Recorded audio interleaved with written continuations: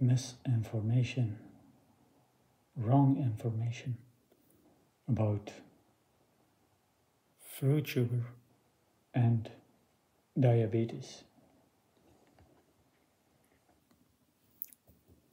Fruit sugar is not bad, it's the opposite. Fruit sugar helps you healing diabetes. Only human processed fruit can increase your blood sugar. Dried fruits are low on the Bovis scale.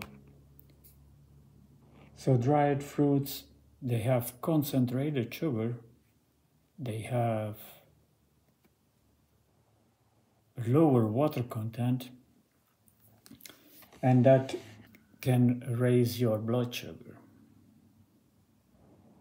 Juices, fruit juices. Fruit juices, you take out the fiber and the sugar increases. That can give you blood sugar spikes. We are not made to process foods or fruits we should eat in its natural whole state. Only the fats in its natural whole state are a, uh, a problem for diabetes. The nuts, the seeds, the avocado is bad for your diabetes. You need to avoid these completely. And think about that. If we lived in nature and avocado is in the season, would you harvest so many avocados to make a complete fruitarian meal of it? No you will not feel well the, the next day. It's the same with nuts. Nuts need to be eaten in small quantities once in a while. If you harvest nuts at the nut tree in autumn, would you eat a whole meal of walnuts These things are mostly eaten as a snack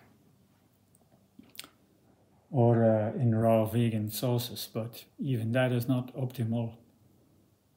So that is not natural because to make sauces you, you need a blender or, or a mixer and uh, that is if I make a smoothie that I use a mixer and that's not natural because I gonna get in more fruits than I usually can eat with my hands.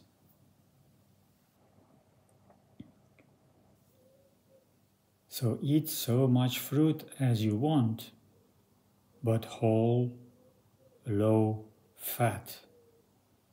That is how to heal diabetes. Once in a while you do a green juice fast and that gonna help you too. No fruit uh, juices, but green juice fast. You rest completely and you enjoy your green juices. That is how you heal diabetes naturally. Selassie Ayman, Rastafari.